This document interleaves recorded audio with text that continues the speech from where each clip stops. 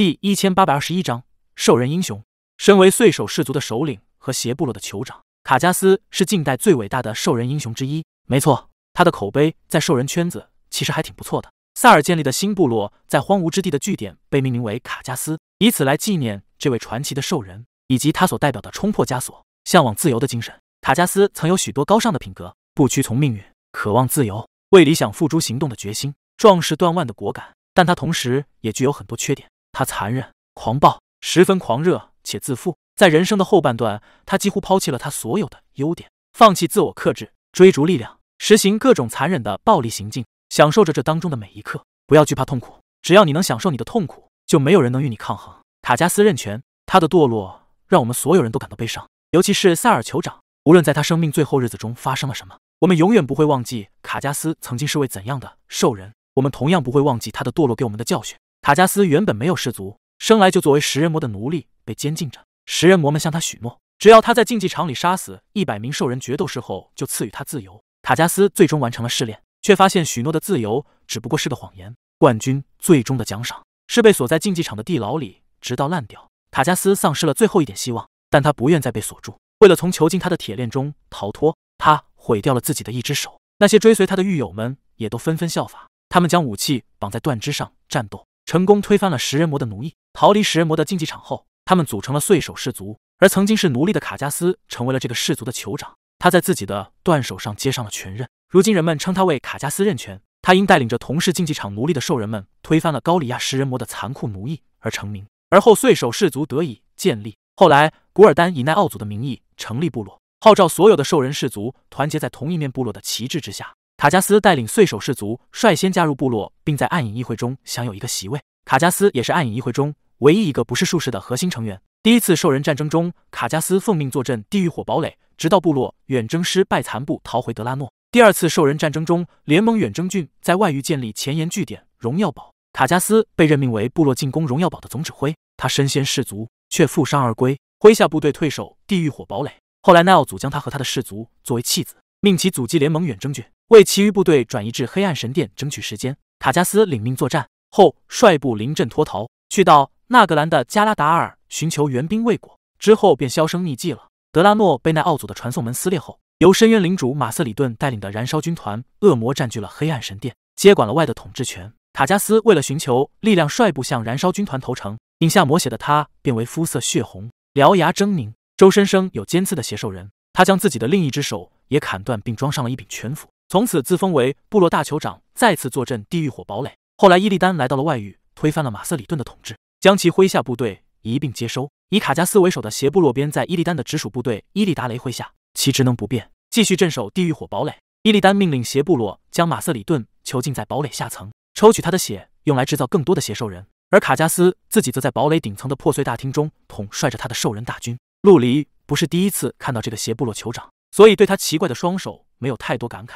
红色皮肤、黑色长发以及左臂上的巨大拳刃，性格狂热、残忍，对胜负十分执着。这就是卡加斯任权。其他俱乐部已经进入副本了，咱们领先了三个 BOSS，而且还有状态加成。如果这样都拿不了首杀，我就真不知道说什么好了。陆离在战斗之前说道，他并不是没想到，干脆别让该隐的左手去撞开锁钳，那样的话，其他俱乐部进入副本的时间还要再延后一些。然而，开锁这件事本身就是他给自家俱乐部开的金手指，既然知道。那就必须用，不用白不用。陆离没有那么矫情，但是他也清楚这种金手指不可能一直有，所以他希望大家都努力一些，人为的也要制造一点压力。开打之前，陆离和水精灵在 BOSS 房间前行游走，以确保没有潮卢盗贼的存在。之前在老三前面的路上弩车附近，陆离他们就遇到了一个潮卢盗贼，虽然只有一个，却差点让他们团灭了。此后大家就格外的小心翼翼。酋长卡加斯任权被激活时，BOSS 的楼梯下面会马上刷新两个盗贼。陆离让除 MT 外所有人站在楼梯上，一起跑进去。MT 拉住 BOSS 在中间，其他人分散站位。卡加斯两个技能，一个是召唤小怪，还有一个是刀阵旋风。卡加斯在他的房间内到处劈，造成物理伤害。虽然只有一个直接攻击技能，但是这个技能转的时间长，伤害也高。只有分散站位才可以很好的减少伤害。召唤的小怪里面，弓箭手是最讨厌的，他会驱散射击，可以驱散 MT，导致 BOSS 去砍别人，所以弓箭手一定要马上养好。其他的小怪则可以 MT 一起拉住，直到 BOSS 倒下。总体来说，这个 BOSS 难度不小，团灭个几次都是应有之意。裁决之剑，即便有陆离在，也需要一个熟悉的过程。最开始的几次都是以团灭结束的，直到偶然的一次，莫名其妙的就把副本给过了。这个手刹拿的确实莫名其妙。后面的几分钟，BOSS 像个傻子似的，一次暴击都没出，被小怪驱散射击给扰乱了之后，他依旧追着 MT 砍，白白浪费了翻盘的大好机会。既然裁决之剑拿到了手刹，那三个花了两百万买开锁进本的俱乐部就郁闷了。更让他们郁闷的是，他们在地狱火堡垒活动的玩家遭到了部落玩家的大规模截杀，损失那叫一个惨重。第一千八百二十二章板甲兄弟，并不仅仅是这三家俱乐部，其实大部分的联盟玩家都遭遇了这种情况。其中也包括了裁决之剑及其相关的俱乐部。这些部落玩家是见人就杀，只要是联盟玩家，就都是他们的目标。在极短的时间里，有数千名玩家遭到屠戮。论坛上称之为堡垒之战的开端。原本一片和谐，众志成城，要肩并肩一起战斗抵抗燃烧军团。可惜这种情怀只是在命运阶梯有短暂的表现。当大家的活动中心移动到了荣耀堡和萨尔玛，冲突立刻开始出现。等到了地狱火堡垒三副本的时候，一只无形大手点燃了战火。联盟也不是吃素的，谁家死人了都会反击。说顾全大局的，首先就需要面对自己人的怒火。那些被杀掉的玩家掉经验、掉装备，他们的怒火只有鲜血才能平息。咱们刷本的队伍被灭了，飘零发来信息，快点摸装备。梦梦马上要去打架了。陆离说道。哇，直接打！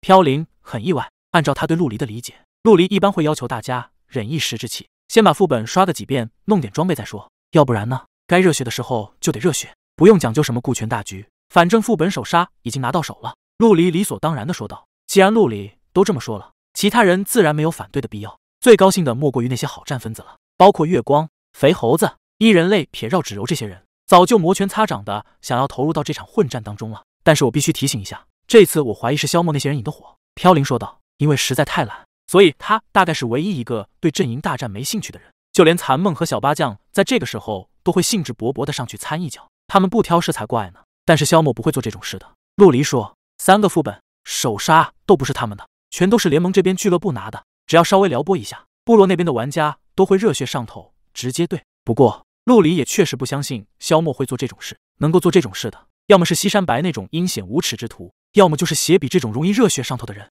或者干脆是他们两个打配合。那你就不怕他们坐收渔利？没有什么渔利可以收。既然是阵营大战，就没有人能够置身事外。”陆离把强化石塞进自己背包里，拿出回城时开始读条。这一次副本没有出传奇装备，一点都不意外。咱们都去打架，蔚蓝海风跃跃欲试，我们去打架，没你的份。跟着八将去练级吧，梦梦也去。你们最好快点儿，能够升到六十三，不然会掉队的。其他人想要继续开荒下一个副本的，最好也去升级。陆离说道：“你怎么不去练级？”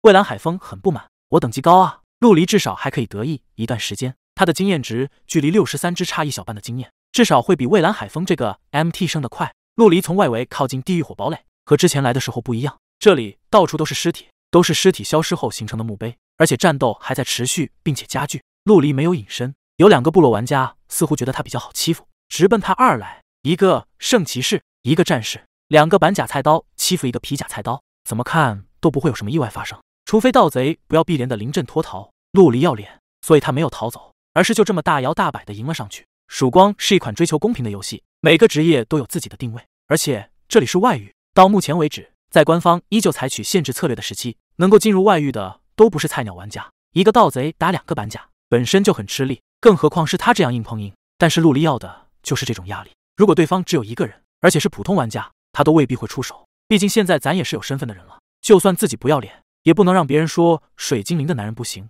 格挡攻击，格挡致盲后退闪避。板甲兄弟在陆离让人眼花缭乱的反击中，很快就意识到了一件事：他们挑选的对手不是弱者，也不是疯子，但是这并不会让他们退缩。这里是游戏，大不了一死。这些 PK 狂人最不怕的，可能就是死亡了。哈哈，是条大鱼，哥们敢报一下名号吗？战士大笑着问道。不敢。蒙着脸的陆离闷声回应。匕首从圣骑士的腰侧划过，带走了一捧血雾，整个人都绕到了圣骑士的身后。圣骑士的脸都白了，被一个盗贼从背后玩。他铁定玩不过，旋转跳跃，狼狈的逃出陆离的攻击范围。可惜此时的陆离已经打算先杀他，自然不会让他就这么跑了。他启动了装备特效，整个人如同枯骨之躯，跟随着圣骑士移动。最后两人的位置依旧是是个大盗贼，点背啊！我先走了。战士大叫一声，打算直接开溜。喜欢 PK 的玩家对高端玩家有比较特殊的称谓，大盗贼、大法师等等。都代表着一种被玩家公认的荣耀。能被称为大盗贼的，至少也要在这个职业排进前一百。一百个看似很多，但是考虑一下目前曙光早就破亿的玩家人数，这个排名已经足以自傲了。操！我怎么有你这样的兄弟？怕个毛啊！大不了一死，万一打赢了，咱们就可以拿出去吹了。圣骑士奋力的抵抗着，各种手段全部都用上，反正他是不想死。拼了！战士想想也确实如此。当下一个冲锋就朝着陆离冲了过来，陆离微微侧身，整个人都躲在了圣骑士的背后，这样自然就不会被战士冲锋到。他的手上动作不停，一个又一个的高伤害在圣骑士身上诞生，而圣骑士的攻击大部分都被他格挡，剩余的伤害根本就拿他没办法。这尼玛还是盗贼吗？圣骑士嘴里发苦，他必须要退缩了，不然马上就要挂掉。现在唯一能期望的就是他的战士伙伴。然而他扭过头的时候，只看到战士一溜烟逃走的背影。哥。你放心的去吧，我将来一定会给你报仇的。第一千八百二十三章嫁祸。战士其实也没办法，他这个冲锋原本很自信的，没想到被迫的如此轻而易举，完全不是一个档次的对手。而他的圣骑士兄弟除了能嘴炮一下，居然连人家五分之一的血都没打掉。他留下来不仅救不了圣骑士，再过一会就算想走也不可能。陆离成功的杀掉圣骑士，看了一眼已经只剩下一个小黑点的战士，并没有去追杀到底。大家又没什么仇怨，干嘛死盯着人家不放？他也不是追不上，只要变身乌鸦，在天空获得更好的视野，很快就能追杀并杀掉这个战士，让他和他的板甲兄弟一起团聚。六十级的暗金，该说你运气好呢，还是说你是个穷逼？陆离捡起装备，一点也不嫌弃的丢进了背包里面。之后又遇见了几个部落，有的两个结队，有的单人行动，全都被他顺手给解决掉了。直到他遇见到了一个大部队，大约上百号人的样子，看起来兵强马壮。陆离立刻就怂了，他就算想自杀，也没必要跑上去似的那么壮烈。不过他也没有立刻逃走，而是联络自己这边的人，让他们快速部署一个埋伏。地狱火半岛到处都是土丘，还有一些钻的虫钻出来的奇形怪状大坑，埋伏一些人完全没有问题。几百号裁决之剑的玩家蹲在坑里，打算在这对部落玩家经过的时候一拥而上，跟着老大就是好吃香的喝辣的。伊人泪撇绕指柔对陆离非常佩服，他觉得自己玩的实在太小儿科。看看人家陆离这一埋伏就埋伏上百人，而且全都是有资格进入外域的高端玩家。咱们最多只有五分钟的时间，必须结束战斗，并且在两分钟之内要完全撤离，不然就会被接到消息的大量部落玩家围堵在这里。这个地方不太容易逃跑。微云淡月分析说道：“正因为不易逃跑，所以才当成了埋伏的地点。也正因为如此，他们一旦被围住了，也不容易撤退。五分钟足够了，待会有什么本事都使出来吧。”陆离说道：“血液在血管中奔涌，这是属于男人的战场。和平年代的今天，也只有在游戏中才能体验了。他们前面有盗贼开路。”包围圈后撤一点，咱们的盗贼先动手，战士们控场，法师群攻，不要掉以轻心。对面这些人不是乌合之众。陆离在天空观察着，昏暗的天空中，没有人会去注意一只飞鸟。明白，有陆离这个高空雷达，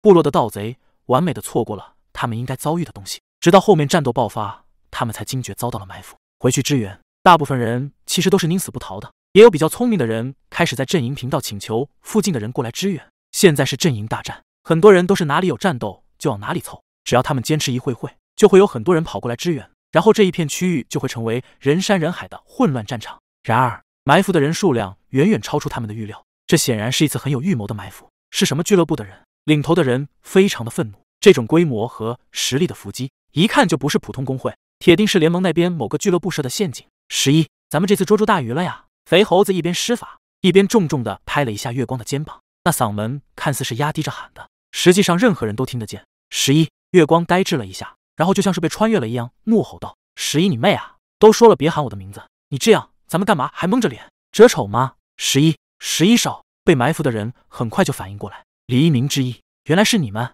那我我说漏嘴了，老大怎么办？肥猴子跑到一个法师身边，装作很惊慌、很愧疚，差点要以死谢罪的语气说道。但是他这种姿态，分明就是求安慰的节奏。那个法师是花底离情。一贯高冷示人的花底离情，肥猴子的本意或许并不是嫁祸给黎明之意，他只是想恶搞一下月光和花底离情。正好一个是战士，一个是法师，看起来水平也很厉害，完全可以被误判为十一少和梦回十三。月光平日里是一个孤僻沉默的人，刚才为了配合肥猴子，硬生生的飙了一下演技，满满的都是羞耻感。嗯，嗨嗨，这不是商量好的吗？让你喊十一少，咱们嫁祸给黎明之意，你是演戏太投入了吧？花底离情淡淡的说道，说话的风格和梦回十三很不一样，让他去模仿梦回十三那种逗逼，他实在做不到，干脆临时换了剧本。哦，对，我们是嫁祸黎明之意，还好，还好，哈哈，我差点都以为我是黎明之意的那谁谁了。肥猴子大笑着，不敢再去招惹花底离情了。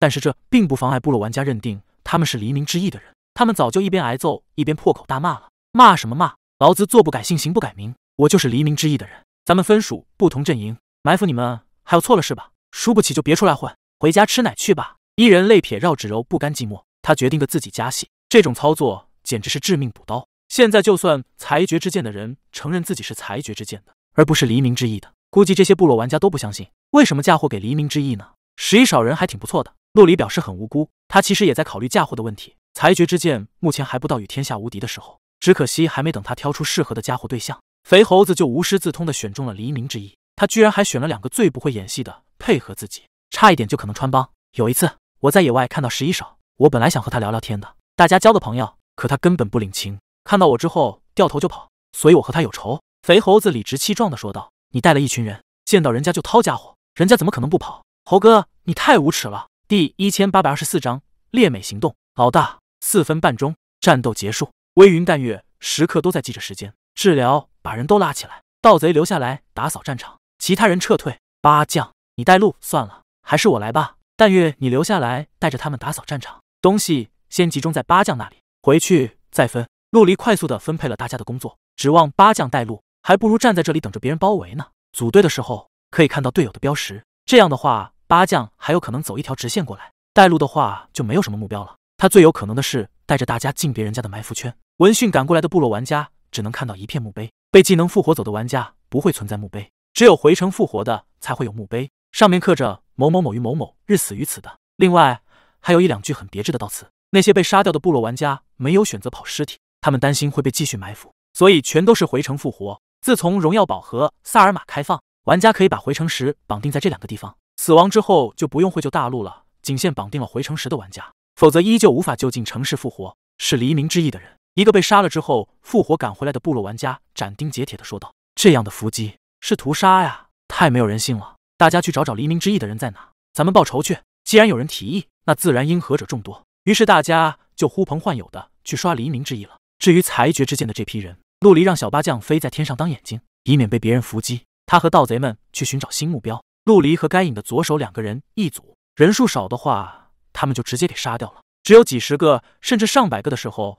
他们才会组织人手进行围攻或者伏击。很快，裁决之剑的击杀总数就有了数千人的规模，大多数都是伏击来的。陆离，快来帮忙啊！我们被围住了。是星星囡囡发来的信息，他们并没有和裁决之剑一起行动，人数太多，容易形成大规模对战，不如各自行动。在什么地方？给我一下坐标。陆离连忙说道。他和星星囡囡并没有特别深厚的交情，但是他媳妇不出意外的话，都应该是和星星囡囡一起的。星星囡囡的，我们显然也包括了水精灵。星星囡囡报了一下坐标。然后把情况也解释了一下，他们是微雨阁的其中一个团队，人数大概百十人左右，都是平时比较喜欢 PK 的女孩子。微雨阁这个俱乐部的 PK 精神当然比不上男性玩家为主的俱乐部。一开始他们也没出什么问题，后来部落那边就有人突发奇想的号召了一个活动，美其名曰叫做“猎美行动”，就是盯着水精灵这伙人，把他们给围起来调戏。因为游戏自身的限制，他们当然不可能做什么出格的举动，但是这种行动却得到了很多玩家的响应。那边现在已经有好几百人。而且数量还在增加。更可恨的是，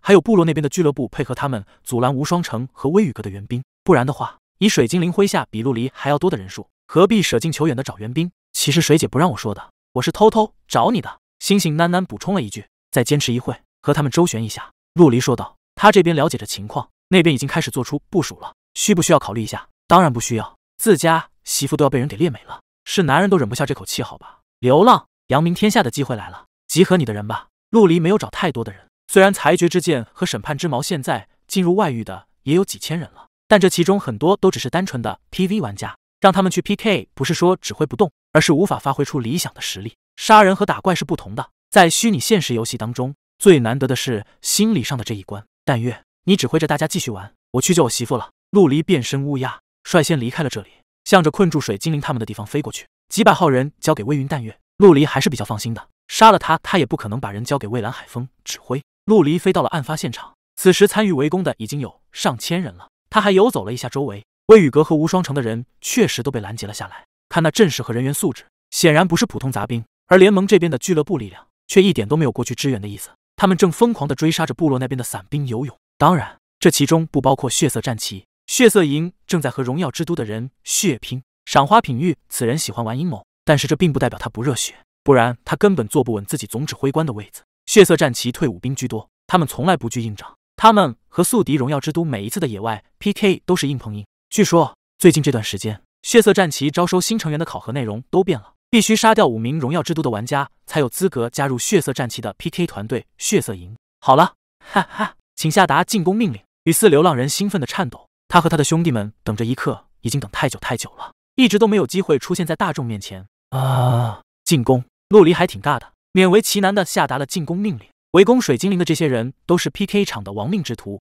不然他们也不敢围攻微雨阁和无双城的主人。就算是超级俱乐部，也不敢这么得罪一个女人。鬼知道他什么时候和自己同归于尽。既然是调戏，那自然不可能直接上去就杀了。围而不杀，又经常放乱箭，让女孩子们回不了城。真正的进攻的手段，大概就是那些让人厌恶的怪笑了。尽管水精灵这边有百十号人，可是架不住对方十倍的力量。他们的虽然也能偶尔杀掉几个敌人，可是想要突然却绝无可能。水精灵也在其中，他是盗贼，想走问题不大。然而他又怎么可能丢下自己的姐妹逃跑？第一千八百二十五章圣骑士。水精灵没有想过全身而退，但是他还是不甘心。除了刚进游戏那会，已经很久没有人敢这么肆无忌惮的挑衅他。报复是必须的，他已经让人尽可能的收集这些人的信息，包括哪些助纣为虐的俱乐部。也在他报复的黑名单之列，千万不要小看女人的报复心，他们狠起来连自己都害怕。带头的人 ID 叫做令狐聪，出了名的心大。他正在一个论坛上灌水的时候，正好看到有人提起游戏里怎么玩比较肆意，其中就有的说必须要调戏最漂亮的女玩家才行。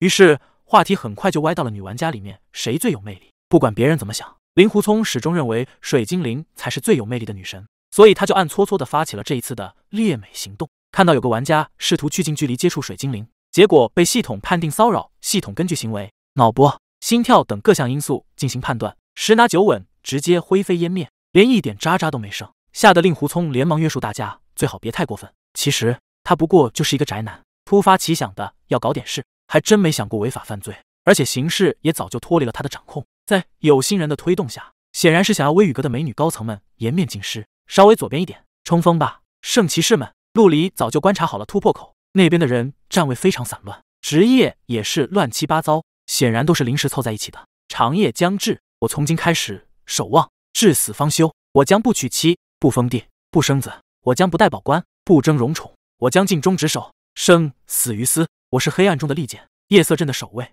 抵御寒冷的烈焰，破晓时分的光线，唤醒眠者的号角，守护王国的坚盾。我将生命与荣耀献给守夜人。今夜如此，夜夜皆然。嘹亮的口号像是有一种魔力一般，响彻了地狱火半岛的大地。轰隆隆的马蹄声杂乱中，形成了整齐划一的节奏，直接敲打着现场玩家的心中。他们极目远眺，正好就看到了一群黑压压的圣骑士骑着战马冲了过来。这是在演戏吗？有人嗤笑着说道：“演的还挺不错的，有大片的感觉。但是这也太中二了吧！一群圣骑士冲过来找死吗？不屑之人占大多数，他们之中也有圣骑士，比任何人都清楚圣骑士在当前版本是多么的可笑。”官方大概是看圣骑士不顺眼，一次又一次的削弱圣骑士。到了上一个版本，圣骑士和萨满一起垫底，号称魔王的亲戚姑九，如果发挥不超常，甚至打不过一个二流战士赛手。如果说他们有什么优势，帅算吗？或者说是他们只需要通过任务就可以获得的骑术，还有战马。然而很多圣骑士自己都不愿意骑着职业战马四处晃悠，好不好看是另说，关键是任何人看到你是圣骑士都想上来欺负你一下，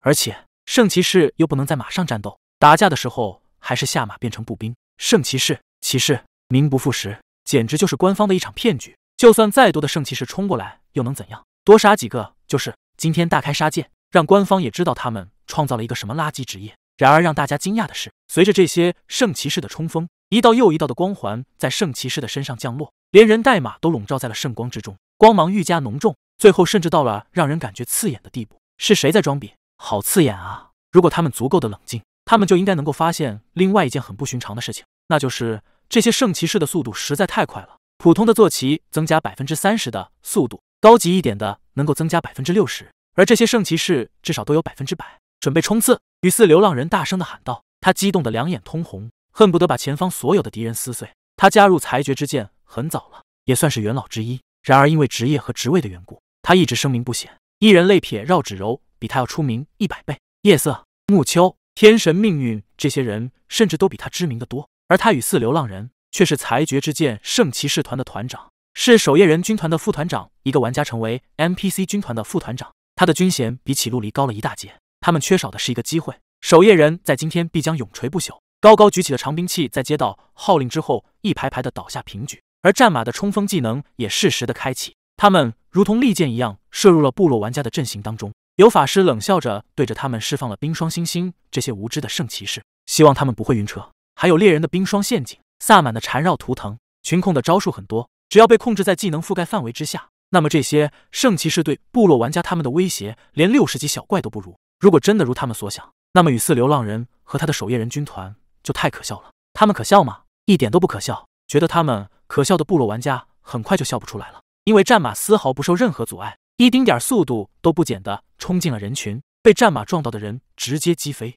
被长兵器挑到的人或者被同样击飞，或者直接遭到穿刺伤害。是夜色镇的守夜人军团，总算是有识货的喊出了真相。守夜人小阵营不算太高端，但是对玩家招收的数量却居于各大小阵营的前列，因此他们的作战风格就不算什么秘密。裁决之剑的守夜人军团也不是第一次出现在世人面前，只是没有如此的密集，并且让人绝望。一排圣骑士冲过去，部落玩家的阵型。就已经乱了。接着是又一排又一排八百圣骑士冲击千多名玩家，数量上本就不算劣势，这样诡异的战斗方式更让对面的人无从抵抗。马战的圣骑士技能并不多，战马大概就一个冲锋和一个箭塔，圣骑士则是一个冲刺，随机产生击飞和挑飞两种效果，还有一个就是横扫。他们全都装备长兵器，这样才能让横扫技能发挥最大的优势，收割部落玩家生命的速度并不快，因为圣骑士攻击并不出色。即便是结合了战马也一样，但是这种攻击的方式却无比的犀利。这些乌合之众很快就丧失了斗志，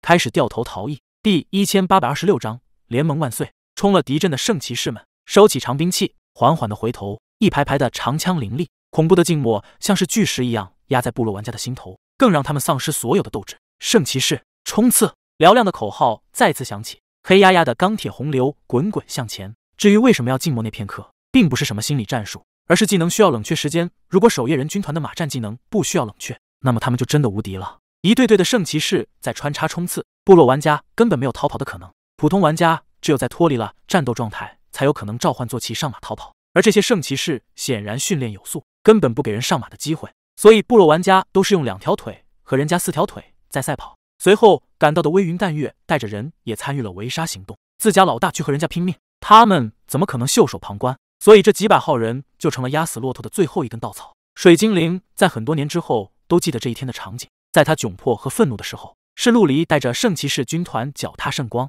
从天而降，在万众瞩目中走到他身边，把他搂在怀里。是荣耀之都干的，这里面有他们的人。水精灵恨恨地说道：“各家都有情报机构，微雨阁也不例外。在事情发生之后，他们立刻就对出现在这里的部落玩家进行分析，最终得出的结论就是和荣耀之都分不开。”别以为萧默是个高傲男神，就把荣耀之都的高层都想象的很高洁。真正负责这些勾心斗角事务的，一般都是下面的人，他们正和血色营死拼呢。咱们去添把火！陆离喊上水精灵，带着圣骑士军团开始火速赶往断背山。断背山是地狱火半岛的一个地名，大概致敬了古代一部电影。就在这里，成千上万的玩家在互相冲锋厮杀，一方是血色战旗的血色营，另一方则是荣耀之都的 PVP 团队。从整体实力来说，荣耀之都独霸游戏圈。血色战旗根本没法比，但是如果单纯的比较野外 PK，血色战旗妥妥的有一战之力。今天他们也不知道发了什么疯，完全一副大决战的架势。指挥官西山白必须打起精神，才能抵挡得住赏花品玉的进攻。造成这种局面的原因很多，其中还有一个就是荣耀之都优先进入外域的都是 PV 玩家，而血色战旗则不同，他们进入外域的大部分都是 PVP 玩家。PVP 玩家对副本和任务不太感兴趣，他们的游戏内容就是练级和 PK。左侧压上去，温德利安还没来吗？西山白擦擦额头的汗水，语气不知不觉中已经带上了焦急。论指挥水平，尤其是野外战斗的指挥水平，他比赏花品玉差点，倒是温德利安青出于蓝，比他更优秀。等温德利安来了，他就打算一切都丢给温德利安。安帅还要再等一会，不过老大开到了。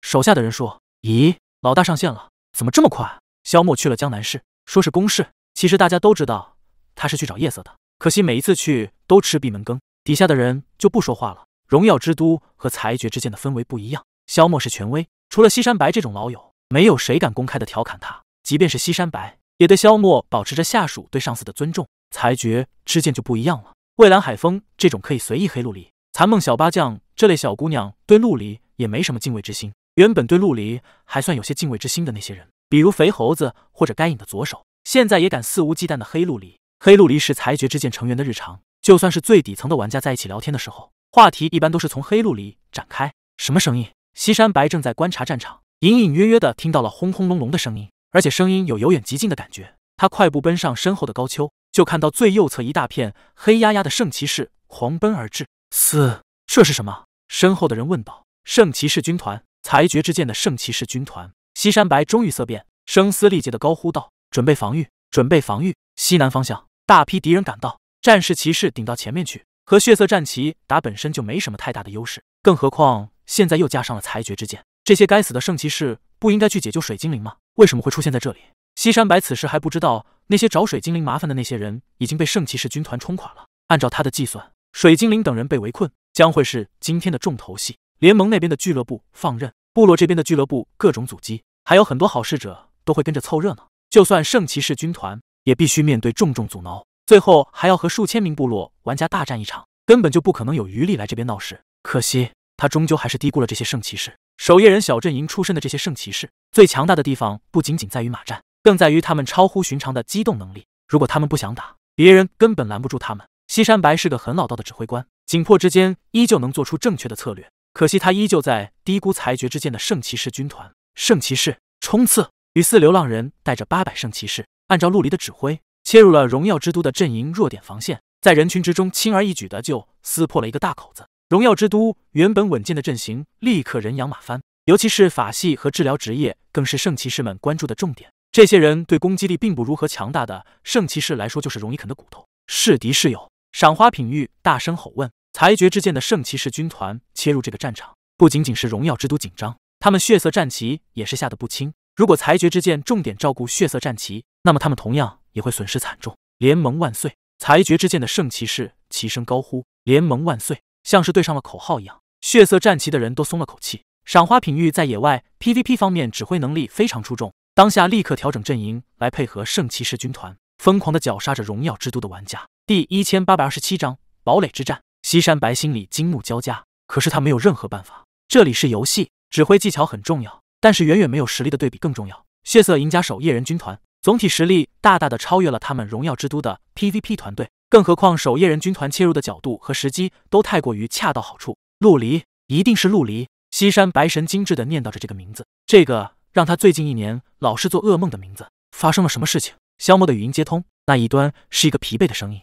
他看到工会频道里纷乱一片。立刻就知道可能不对劲，咱们和血色萤火拼，裁决之剑来了。西山白用简短的一句话概括。即便如此，萧默也立刻明白了荣耀之都现在面临的处境。血色营什么实力，他比谁都清楚，那是最近几年他们的头号对手。至于裁决之剑这个名字，他并不知道裁决之剑的守夜人军团有多厉害，但是他更了解陆离，深深的体会过陆离的每一次都让他感觉到头疼的手段。裁决之剑为什么插手？萧默抓住了重点。游戏圈算是约定俗成的潜规则，两家超级俱乐部脱离主战场，找个偏僻地方火拼的时候，其他人最好离远点。敢掺一脚的话，就要考虑一下被秋后算账的可能。荣耀之都和血色战旗跑到断背山脚基哦，不对，是互相伤害。原本在那边活动的工会或者俱乐部全都撤得干干净净，唯恐让他们觉得自己有参战的打算。不管是荣耀之都还是血色战旗，他们都有让人吃不了兜着走的实力。按理来说，裁决之剑也不应该参战。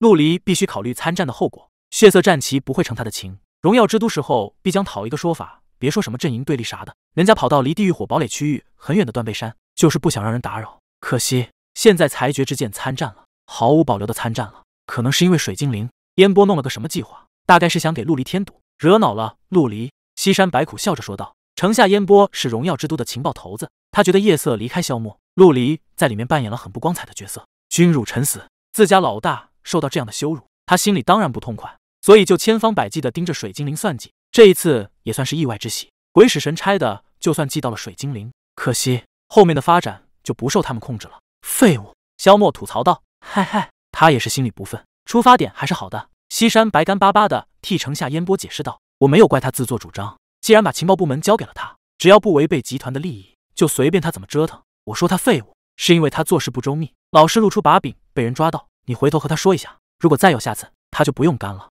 萧默气冲冲地说道：“现在是什么情况？情况很不乐观，大家打得很辛苦。老大，你还有多久能到？”西山白哭丧着脸说道：“那就撤吧，我过去也没什么用。”萧默说道：“撤的话，损失也太大了。温德利安很快就能带人过来支援了。”西山白有点傻眼。作为一个资深野战指挥官，他比谁都清楚撤退意味着什么。陆离很可能有后手，安安去了也未必有用。当断则断，这笔账以后再和他们算。”萧默果断地说道。于是。陆离就看到荣耀之都的人开始调整阵型，他们想跑、流浪，撤出来几个小队绕后。然后他还把荣耀之都的战略企图和赏花品玉说了一下。西山白显然没有留意到陆离在天上，对他们的举动了若指掌。不然的话，他可能就一声令下，大家赶紧跑啊，说不定还能多跑掉一些。你想把他们全都留下呀？那仇可真结大了。赏花品玉一副替陆离考虑的姿态，实际上心里可开心了。他们和荣耀之都打了半天，损失惨重。早就恨不得荣耀之都的人死光光。陆离的决定正合他的心意，当下立刻指挥着人参与围堵。想留下荣耀之都这些人可没那么容易，单纯只有他们血色战旗的话，几乎不可能。但是加上了裁决之剑这些攻击方式诡异的圣骑士，一切都变得有可能了。事实上，在荣耀之都整合撤退阵型的时候，他们就已经注定了失败，集体回城办不到，就只能边战边退。西山白显然是打算整个团队扯进附近的一个部落营地，试图用部落 NPC 来抵挡血色战旗和裁决之剑联军的阻拦。可惜陆离在天上看着呢，早就布置好了一切。水精灵脱困之后，威雨阁和无双城的大军就不再和那些阻拦的人纠缠，他们早早的就脱离了战斗，在陆离的要求之下，移动到了这一带。看到荣耀之都的动向，陆离终于走了这一步棋。三面围困，荣耀之都彻底没了逃脱之路。屠杀，自从萧默出道以来。荣耀之都已经有多年没有过这样的遭遇了。只有最早期他们艰苦创业的时候，原先的霸主阻挠他们崛起，各种围追堵截，才有过类似的经历。死亡就意味着掉经验、掉装备，还会影响团队的战斗士气。西山白最终只带着几十人逃出升天，数千人惨死，大部分都死在撤退的路上。参与围剿的血色战旗死了一千多，裁决之剑因为都是机动性比较强的圣骑士，所以损失不过百十人而已。大量的装备进账，让参与了这场。战斗的人乐得合不拢嘴，但是后果也很明显。此后的地狱火半岛上，荣耀之都和裁决之剑的三派联盟，还有血色战旗的血色营大打出手，多次爆发千人规模以上的大战，双方各有损伤，一直持续了一周多的时间。直到外域开放后的第一次要色战争到来，愤怒的荣耀之都显然不会放过这样的机会。傻子都知道，荣耀之都这一次的进攻目标是什么人，要么是血色战旗，要么是裁决之剑，反正都是早晚的事情，顺序不同而已。至于一下子对付两家，可能性存在，但是萧默应该不至于如此拖大。第一千八百二十八章，士为知己者死。上一次要塞之战，荣耀之都的地狱火让所有拥有要塞的俱乐部都感觉到心头发寒，谁都害怕成为荣耀之都的下一个目标。原本最有希望获得萧默关注的就是裁决之剑，现在几乎没有任何悬念了。大家伙都觉得这样挺好，唯恐天下不乱的各自搬着小板凳等着看热闹。不管是裁决之剑还是荣耀之都，谁赢都无所谓，反正他们互相对。其他人就不用面对这样两个强敌。陆离丝毫不后悔惹怒荣耀之都，敢欺负他媳妇，就要有被他报复的觉悟。灰谷要塞有一块禁地，非经俱乐部有限的几个人特许，禁止任何人出入。这里就是裁决之剑的工程学秘密基地。基地里乱七八糟的，随地散落的都是机械部件。正在施工的是一个庞然大物，三四米高的个头，钢筋铁骨，正在逐渐的成型。左侧一排站立着同样造型的机械怪物，足足有四台。正是裁决之剑赶工了一周多的魔能机甲，这种玩家制造的魔能机甲，体型堪称迷你。不过拿到玩家面前，任何人也都要仰头看它。这一台还差多少？陆离问道。快了，我说你一个俱乐部老大，整天就这么闲吗？你干点正事行不行？你就在这里，让我无法聚精会神的工作。无限星空眼皮子抬也没有抬，聚精会神的忙着自己手上的工作。不过他还是回了一句：这些天他一直都在忙活这些东西，一份可以做十架魔能机甲的图纸。已经被他废掉了五个，裁决之剑损失了很多的材料，但是陆离一点都不生气。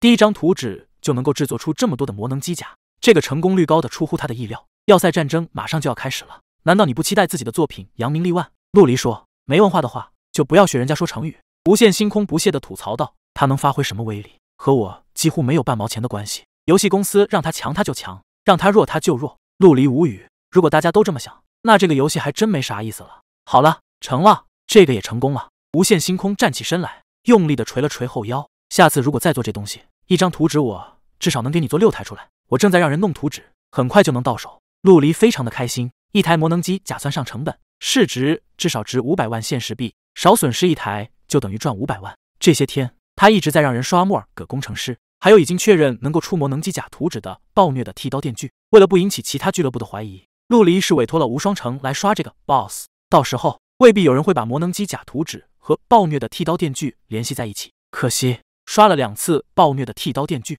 一张魔能机甲图纸都没出，即便是残梦小红手出马也没用。由此可见，官方对这份图纸的掉落设置的有多低。这种设置有利有弊。陆离可不希望要塞战争的时候，大家人手一台魔能机甲，这玩意就是一堆金币堆积成的。无限星空感慨说道：“以他的财力，就算得到了图纸，也拿不出做十台魔能机甲的材料。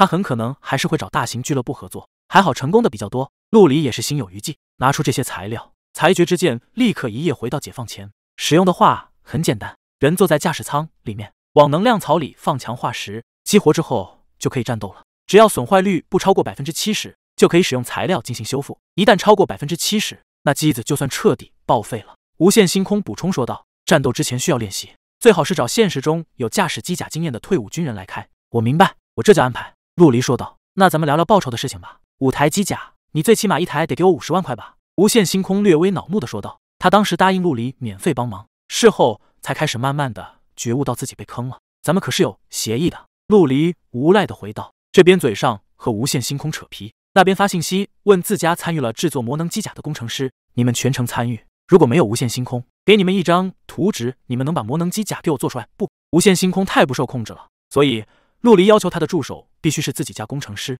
能做是能做，我们的等级都也差不多了。”但是能做几台就不好说了。无限星空也不笨，真正核心的技术他铁定有私藏。工程师由衷的说道：“他确实很厉害，现实里一定是一个很了不起的技术大师。那咱也招一个现实中了解工程机械的人呢，也不是不行。但是现实中这样的人大多不玩游戏，对游戏没有什么了解的话也没用，必须现实中擅长，对游戏又有极深理解才行。”工程师实话实说，显然是被无限星空征服了，不然的话不会这么替无限星空说话。假如没有无限星空，那么他就是裁决之剑的第一工程学大师，谁也不会无缘无故的想给别人当小弟。那你觉得他属于哪种人？陆离问。属于现实人。工程师知道陆离问这句话的意图，回道：他不是那种凭着热血和情怀就会白干活的人，必须有一定的利益绑定。现实里估计经历的多，岁数也不算小了。不过他倒也不是坏人，工作什么都挺敬业的，也挺会为人处事。好，五十万一台，回头就给你转账。陆离直截了当的说道。无限星空吓了一跳，原本组织好的语言就吐不出来了。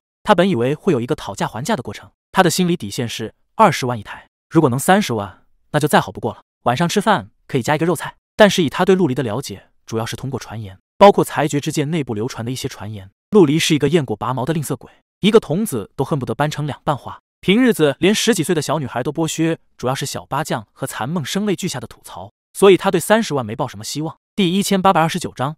老公被小三勾走了，没想到陆离直接就答应下来了，而且答应的还是他最先狮子大开口提的五十万。这个结果是他始料不及的，一时半会不知道该怎么说话。其实比起他在陆离记忆中的身价，五十万真心不算什么。他给荣耀之都做这玩意儿，一台一百万，不管最后做出来几台，他都要分走一台，那才叫真正的高价。可惜他碰到了重生的陆离，即便是想要拉拢什么人，也都黑心的不要不要的，远远没有荣耀之都消磨男神那样出手阔绰。星空，以后。咱们就是兄弟了，有我吃一口饭吃，就不会让你饿着。陆离按住无限星空的肩膀，一脸的深情，看得无限星空直起鸡皮疙瘩的同时，又莫名的感动。多好的人呐！这种级别的吝啬鬼，好不讨价的给自己这样的待遇，还有啥好纠结的？士为知己者死。很快，荣耀之都即将进攻裁决之剑三派联盟要塞的消息就传遍了整个游戏，人人都知道裁决之剑要面临荣耀之都的全力进攻，其他人最好不要插手，不然就是下一个裁决之剑。简单粗暴，却又霸气的让人无法质疑。想要帮裁决之剑，可以，你帮得了裁决之剑，就是不知道裁决之剑将来有没有能力帮助你。至少原本还想继续和裁决之剑战统一战线的赏花品玉打了退堂鼓。他们在上一次的要塞之战联络了很多盟友，形成为围攻的架势。结果不仅没赚到便宜，还赔上了一座要塞。地狱火的恐怖之处，没有经历的人根本就体会不到。鬼知道荣耀之都手里还有多少地狱火。赏花品玉再也不想看到这些地狱火。如果荣耀之都去打裁决之剑和他们同盟的那几个要塞，对血色战旗也没有什么损害。毕竟一旦荣耀之都占据的要塞多了，防守都是一件费力的事情，自然没有精力再去打血色战旗。这一期没有新要塞，那么老要塞的争夺就成了主旋律。裁决之剑及其同盟共有六座要塞，裁决之剑自己两个，生活职业联盟一个，微雨阁两个，无双城两个，荣耀之都则亲自拥有四座要塞，当之无愧的霸主。他的下属俱乐部狂风军团也一直占据着凄凉之地要塞。最关键的是，人家还有余力打这个打那个，而裁决之剑则双手抱头的念叨着：“看不见我，看不见我，都看不见我。”五台魔能机甲，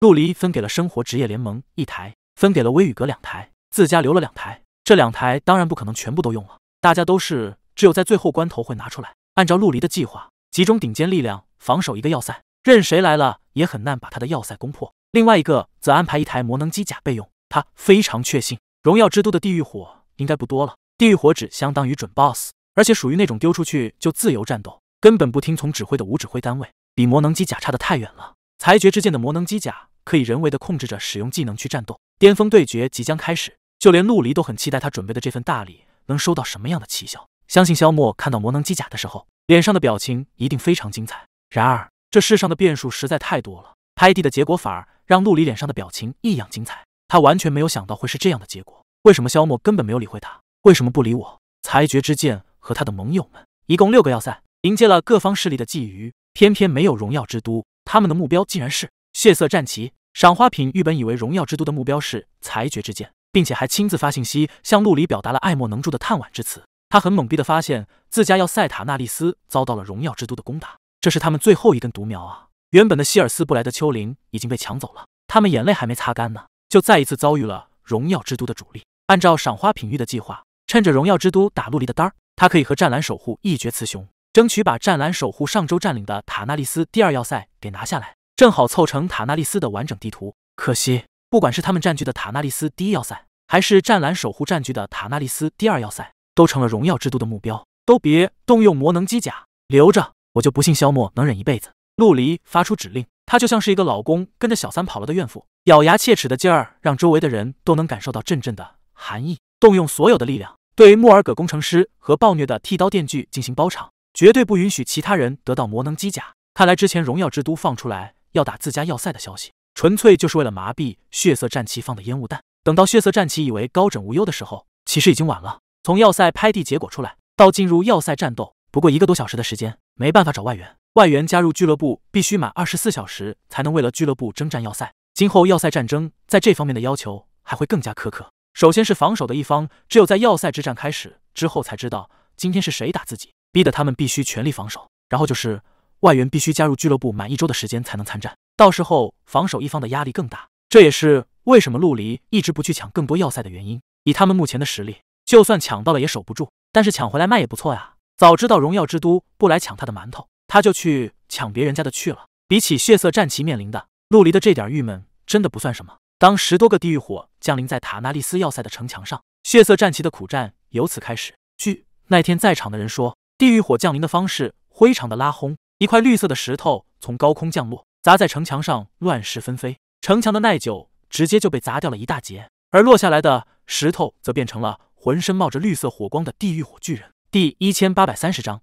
陆离的怨念，上有地狱火肆虐，下有战车轰鸣。血色战旗虽然奋力的挣扎，但是最终还是丢掉了要塞。惨！陆离擦擦眼睛，心里痛快极了。他觉得自己非常厚道，至少没有找赏花品玉开语音聊天，用犯贱的语气安慰他。在不久的之前，自己就是被这么安慰的。湛蓝守护也输了，整个塔纳利斯都是荣耀之都的，只动用了七台地狱火，是真心弱鸡。你觉得咱们的魔能机甲打得过多少个地狱火？陆离对此一点都不意外，他只是好奇地狱火遇到了魔能机甲会怎么样。咱们。只是简单的演练一下，能发挥的最大威力还不知道。但是我觉得单算进攻能力的话，咱们一台魔能机甲至少抵得上十个地狱火。而魔能机甲最擅长的其实防守，以今天进攻血色战旗的这种力度算，咱们守得住。唉，真心遗憾啊！我的魔能机甲怎么就不打我们呢？如果真的想打，咱们就不会这么高调。既然如此高调，不打咱们也就正常了。微云淡月想了一下之后说道：“他并不觉得荣耀之都没打自家要塞有什么不好。”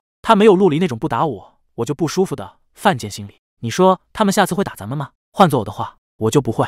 荣耀之都的要塞实在太多了，亲自占据的就有六个，防守都是问题，恐怕没有余力打咱们。微云淡月实话实说。陆离咬牙切齿，最后吐了一句脏话。这就好比是请客，他费了九牛二虎之力，准备了一桌子好菜，本以为会被客人变着花样的花厨一好，偏偏客人突然就说不来了。这尼玛比把桌子腿都啃掉还让他难受。他不打咱们，咱们可以打他们啊！魏云淡月不明白陆离在气什么，你不懂。陆离摆摆手，咂咂嘴说道：“你有没有那种经历？你得到了一块肉，很香很好吃，你正吃得欢，却突然发现有屎。”魏云淡月睁大了眼，啊，大概就是那种感觉。陆离突然觉得自己举的这个例子不好，弄得好像自己吃过似的。没上过学就是这样，举例子也不是多恰当。老大，我没有这样的经历。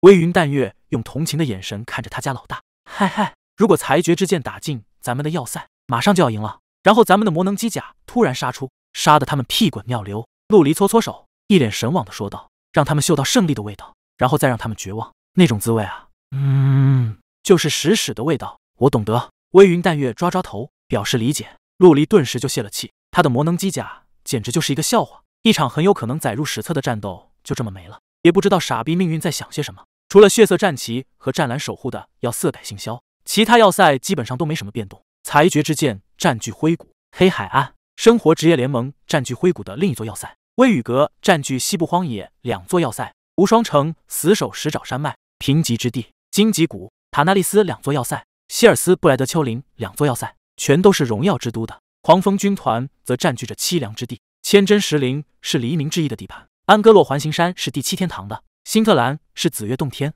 最后一个阿拉西高地是星辰俱乐部占领着。总体来说，排名近前十的俱乐部都有要塞、血色战旗和湛蓝守护，原本也有的，只是这一次要塞战争被荣耀之都给抢走了。两家俱乐部的人再怎么哭得肝肠寸断也没办法。出地狱火沉船遗迹探查到了，在荆棘谷那片海域，具体的位置不清楚，荣耀之都守得很严。靠近那一片海域，格杀勿论。微云淡月继续提供最新情报。呵呵，乱七八糟的。荆棘谷又没有燃烧军团，出地狱火图纸算什么事？这是游戏公司在给萧默开挂。陆离愤愤地说道。但是不管如何，荣耀之都有地狱火都成了事实。不过陆离也发现了一点，那就是荣耀之都的地狱火不多了，他们已经无法进行最开始那种强度的战斗。打湛蓝守护的时候才放出来七个，或者他们如果地狱火很多的话，完全可以再多打两个要塞。陆离美滋滋的想。下次要塞战争，希望荣耀之都给力点，最好能逼得他拿出魔能机甲。每个男人都有一个机甲梦。要塞战争结束之后，堡垒之战也渐渐的消停了，至少大型俱乐部不会再这样毫无节制的打下去。大家都需要练级弄装备，以迎接下一次的大战。即便如此，地狱火堡垒也照样打得如火如荼。外域 PK 最激烈的地方大概也就是这里了。复杂的地形、贫瘠的土地，还有刚刚进入外域的新仙境，总之谁都会有事没事过来打打架。而裁决之剑的守夜人军团也成了堡垒之战最浓墨重彩的一笔。这些处于职业食物链最低端的圣骑士，第一次让其他玩家发自内心的畏惧和佩服。从这以后，新进入游戏的玩家很多都会选择圣骑士职业，不求拥有像守夜人军团那样的实力，只要和他们一样帅就可以了。此外，就是涌现了很多以圣骑士为主的工会，比如圣光照耀、圣光忽悠着你、圣光兄弟会等等。陆离按着一堆魔能机假心痒难耐，可是再怎么难耐。他也得老老实实的练级，等级榜上早就没有他什么事了。就连洛英回忆，蔚蓝海风都已经升到了六十三级，这个等级的人一抓一大把，很多人都已经开始冲击六十四级。再怎么晚，也都是这几天的事情。让陆离学着别人那样老老实实的刷怪练级，他觉得会侮辱他众生者的身份。把地狱火堡垒三本的新 CD 刷完之后，陆离就出发前往下一个地图赞加沼泽。之前还是干旱贫瘠、寸草不生的地狱火半岛，立马跳跃到了沼泽地区。德拉诺这爆炸炸的。也很有水平，然而正是这种地貌的差异，两个地图交接的地方就不那么好逾越了。